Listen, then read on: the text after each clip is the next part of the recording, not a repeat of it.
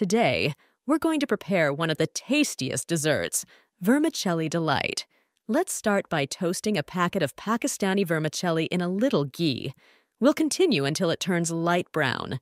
Once done, set it aside.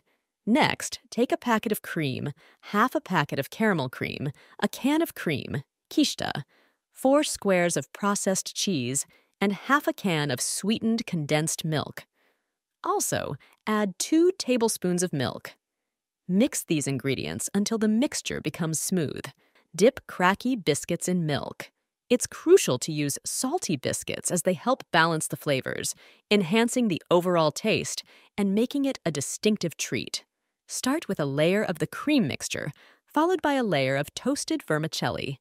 Repeat the layers. I like to have three layers. Place the dessert in the refrigerator for four hours to set. Serve it chilled, garnished with caramel sauce.